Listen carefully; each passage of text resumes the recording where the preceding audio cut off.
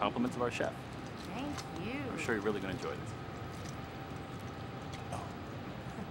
Yeah. Ladies and gentlemen, this is a Coquilles Saint-Jacques. Mm. A lemon butter reduction. Mm. That's really good. Wow. I'm very impressed. Why is that? Well, you know, around these two, people usually can't wait to uh, name drop and dish their friends, and here you are being all discreet. Yeah, it's, it's quite endearing. Actually, it is. So, why don't we change the subject? Whoa, whoa. Are you right? Oh, no, yeah, no. I'm fine. so, uh, Sarah tells me that um, you're a consultant, Hitch. Yeah, uh, mostly marketing, a little advertising, brand management.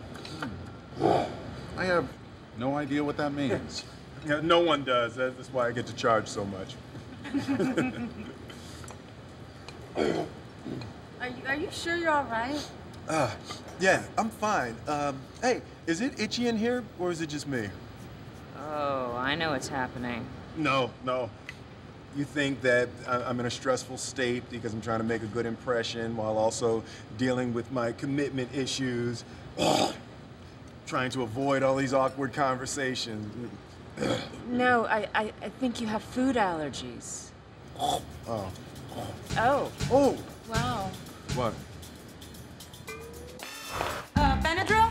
Where's the Benadryl? Aisle two. Which one's out two? The one with the big two over it. Sarah, I'm fine. You sure it's in out two? No. Really, it is not that serious.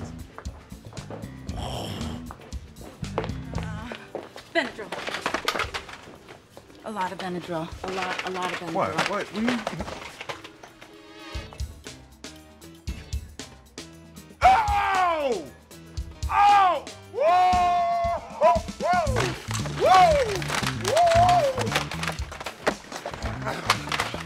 Coquilles Saint-Jacques. Death on a leaf!